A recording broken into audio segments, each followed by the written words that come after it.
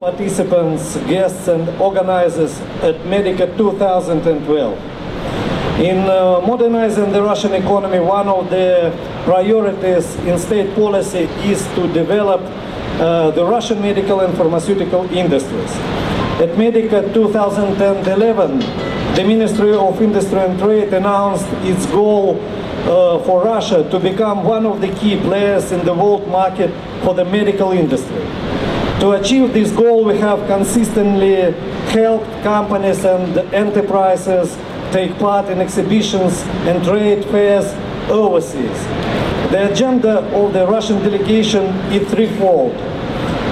Firstly, to seek solutions to help harmonize Russian and European legislation in the market of medical products. Secondly, to explain development trends in the Russian market. And thirdly, to highlight various successful projects undertaken by Russian companies with foreign partners. The fact that Russia is able to be so prominently represented at the leading trade fair of its kind clearly helps project a positive image of uh, successfully developing industry-specific market in the Russian Federation.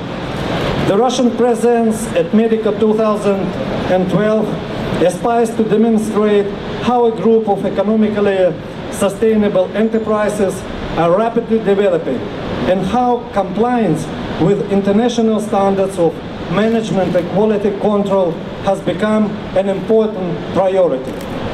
Russian industrial policies have increasingly been informed by world technological trends. Integration of the Russian medical industry with the wider world economy is a vital strategic goal.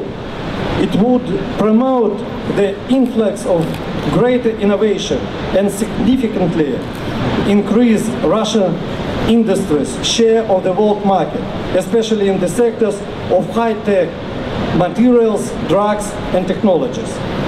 I am convinced that Medica 2012 will provide exceptional networking possibilities, helping establish new business contacts and uh, in so doing will give impetus to long-term cooperation between Russian and foreign partners.